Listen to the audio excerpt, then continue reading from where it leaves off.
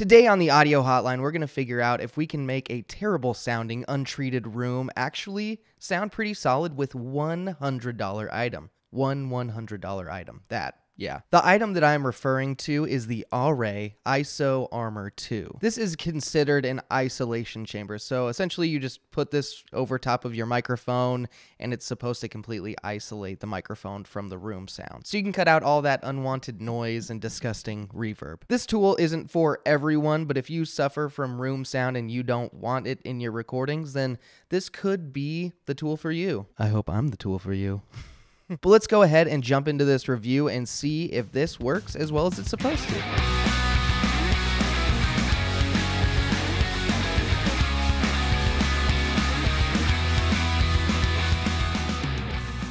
Welcome, all audio nerds, to the audio hotline. And if you aren't an audio nerd, uh, maybe this could be your first step into audio nerdyism. One real quick thing that I forgot to mention because I haven't really had people helping me out on this channel before this point, so I just want to say a big thank you to B&H for sending me the Auray ISO Armor 2. They've been super generous in sending me products that I want to try out, and they are not making me say that I like it or anything. My opinion is in fact my own.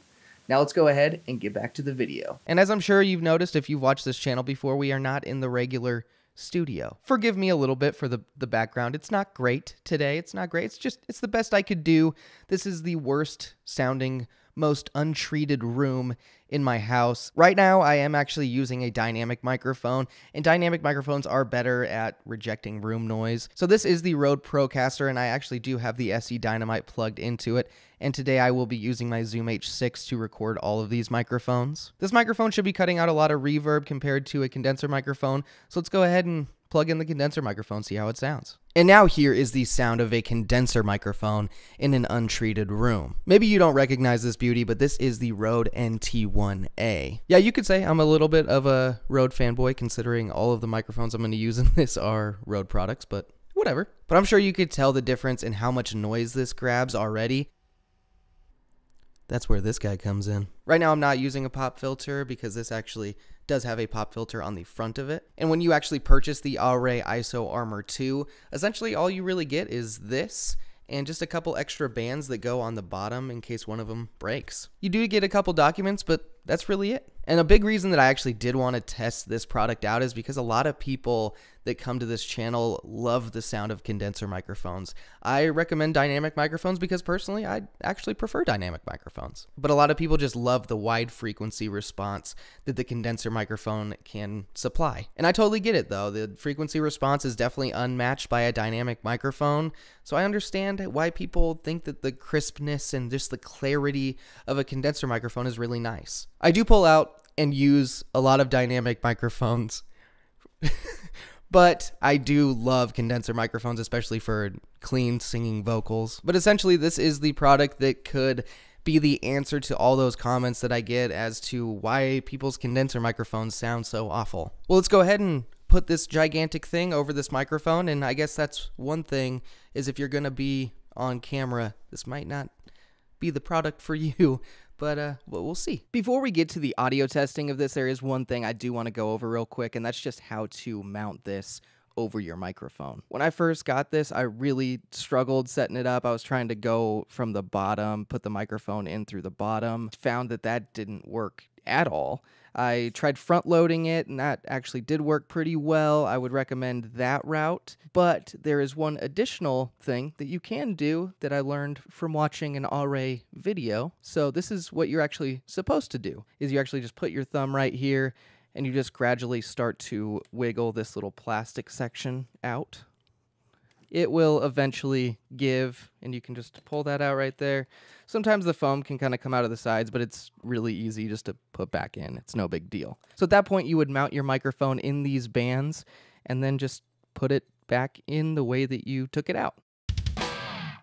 And here is the sound of the Auray ISO Armor 2 isolation chamber. I didn't initially realize how awkward it would be to record with this gigantic thing on the microphone, but uh, We'll make it work, I guess. We'll go through a couple quick tests with the isolation chamber. First, let's go ahead and do a post-processing test. I'll do one with the chamber on and with it off. Here's the sound of the Rode NT1 with the Auray isolation chamber over it. This is with some EQ, compression, de-esser, and possibly a noise remover. Here is how this microphone would sound with post-processing on it in an untreated room. However, I did put the WS2 Rode windscreen on this, you know, just for a little bit of protection. But here's how it would sound with the exact same post processing that I'm using with the isolation chamber. Now, if you're a YouTuber that doesn't like the microphone on the camera screen and you have a little bit too much room in your recordings, here's what the microphone sounds like inside of the isolation chamber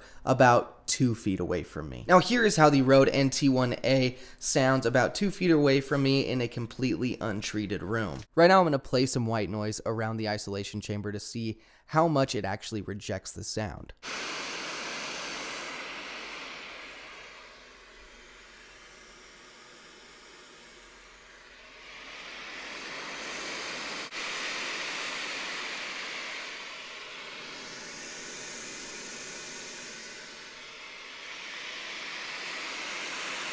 And here is how much of the room it actually cuts out with this over the microphone.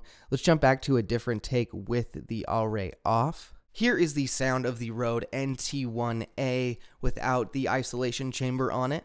And once again, here is with the Auray ISO Armor 2 on the microphone. And once again, here is the Rode NT1A with no isolation chamber over it. Once again, this is the dynamic microphone, and here is how it sounds in this untreated room. Now, I would like to test this out with a dynamic microphone in it, but it just doesn't have the room to really make that happen. So this is pretty much strictly for condenser microphones. But the good news is your dynamic microphone already kicks ass at rejecting noise. So Good on you. Now that I've done these tests, I'm going to go back and listen through them to see how much I think it makes a difference. And then I'll uh, come back and give you my thorough review of the Auray ISO Armor 2.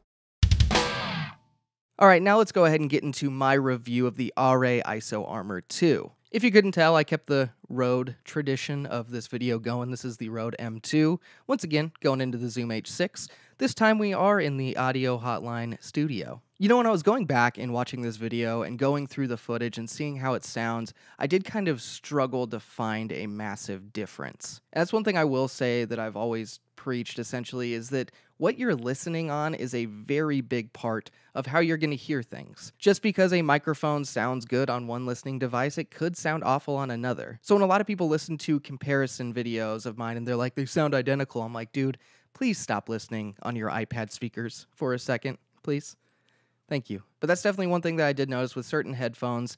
There was way less of a difference with this on compared to when I was listening with my actual speakers or nicer headphones. Now, one thing I will say is that actually the biggest difference I noticed wasn't necessarily that it was cutting out reverb and room noise, although it was doing that. It definitely did what it said it was going to do. There was still reverb that was getting in, like, I don't think that it was completely dead sounding or anything, which I don't know if a ton of people necessarily want it completely dead. I know voiceover artists strive for that. And I will say that if you were to use this and then maybe put up a couple moving blankets, you could set up a voiceover room for 150 bucks pretty easily. But the thing that I was saying is the biggest difference that I noticed was actually the tonality and the sound of the microphone changing. I noticed that when it was in the isolation chamber, it was almost equivalent to grabbing a dynamic microphone and cupping it. You know how a lot of metal screamers do that and mixing people just absolutely hate it. They'll just grab it and be like,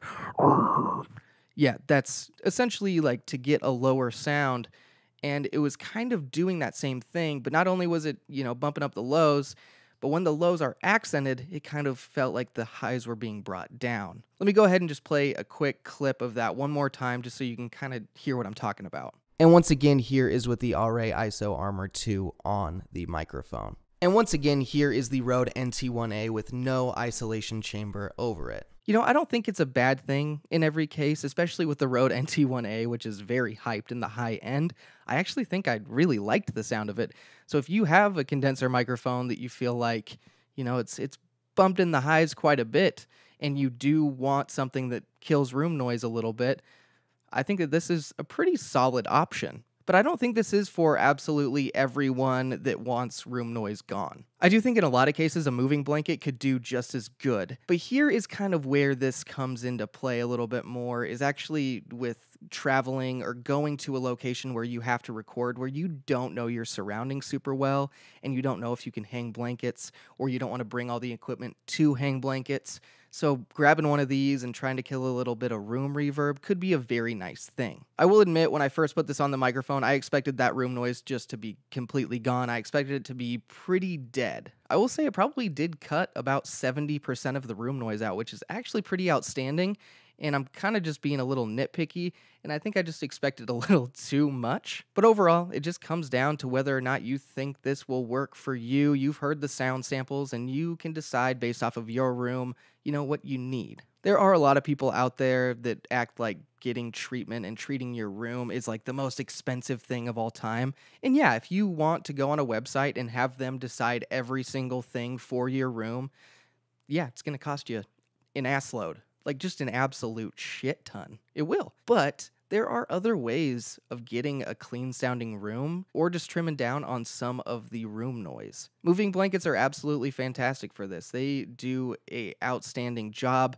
You can use, you know, just a cheap old microphone stand to just stand up a moving blanket right in front of you and you're recording and it's sounding pretty solid. And I will say that the Auray ISO chamber is definitely in that category of less expensive things than treating your whole room that can get you a really good sound and just overall be pretty solid. Another nice thing about the Auray ISO chamber is that I thought that the pop filter did work very well. When it comes to the build quality of the Auray ISO Armor 2, this thing is just outstanding. It's just it's tough. It's very tough. Like this thing will last you a very long time, even if you're going to travel with it, throw it in the back of your car, and it'll last for sure. Overall, I really do like this setup. And I will say, compared to like the eyeball, the whatever K word eyeball, at like $200, this is an absolute steal compared to that. Because I know even that product doesn't kill all the room reverb, and I know that it also does tonally affect the microphone a little bit as well. So compared to other products out there, I think that the Auray ISO Armor 2 does a very good job. But once again, it just depends on what you're recording and what you need. One thing I will say, and I did want to emphasize for this video, learning and educating yourself on polar patterns, frequency response, and all of those things that surround a microphone's tone is absolutely essential for getting a product that you will be happy with. So a lot of gamers and podcasters and people on YouTube that have a lot of reverb in their room don't have it treated or that, you know, are click clacking on keyboards, making super loud noises. I think that it's very essential for you to pick a microphone like a dynamic microphone that will suit your needs more than just being like, oh, my favorite YouTuber uses a Blue Yeti. It's a condenser microphone. Let's get it. No, dude, just pick the mic that's going to work. But there are absolutely situations where people will need to use condenser microphones. And if you're not going to listen to my words and you're going to get a condenser anyway, even though you have an untreated room and you want a dead sound, maybe the Auray ISO Armor 2 is right for you. Well, thank you for watching this review of the Auray ISO Armor 2. I hope it helped you out, help you decide whether you want to get one of these or not. But most of all, I hope you had fun. If there are any questions that I forgot to answer, go ahead and ask them down below. I am not pointing to my crotch when I do that. I'm talking about the comment section. A big thank you to B&H for sending me this product to try out. I really do appreciate everything they've done for me. And a very big thank you to all of my subscribers, and thank you for watching the audio hotline. I'll see you audio nerds next time.